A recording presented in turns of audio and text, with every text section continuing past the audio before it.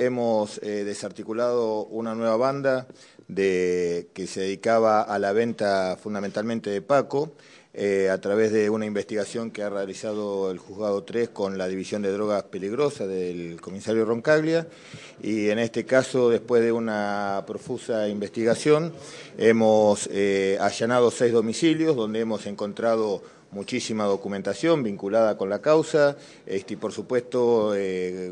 cantidades de, droga, más de 1.600 drogas, dosis de Paco lista para su comercialización y en proceso de, fraccionamiento otras más de 2.000, 3.000 dosis aproximadamente. Eso era una banda que estaba formada, comandada por una mujer de origen extranjero y seis eh, personas más, también todos de la nacionalidad peruana, que se dedicaban a vender eh, droga en los lugares más vulnerables del sur, fundamentalmente en Floresta y en Liniers. Esto conjuntamente con los operativos que hemos realizado la semana pasada y hace 10 días eh, en la Villa 1114 ha permitido eh, prácticamente desarticular gran parte de la distribución de droga y fundamentalmente del Paco, esta droga que que tanto daño produce a nivel cerebral y que es la consecuencia de la violencia en los delitos. Esta semana también hemos realizado tareas muy importantes de incautación de cocaína, fundamentalmente hemos detenido un, un cabo de la Gendarmería que estaba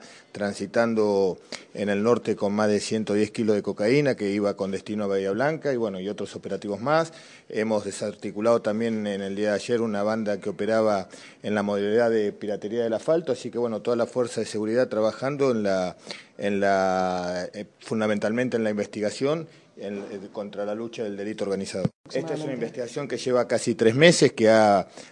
eh, ha, comenzado a partir de diferentes denuncias que hemos tenido en las mesas de participación que promueve la ministra Garré, y a partir de allí las, eh, la Policía Federal ha comenzado las investigaciones, conjuntamente, obviamente, ¿no? luego de haberlas judicializado, y, este, y en el día de hoy hemos realizado los seis allanamientos que fueron todos exitosos.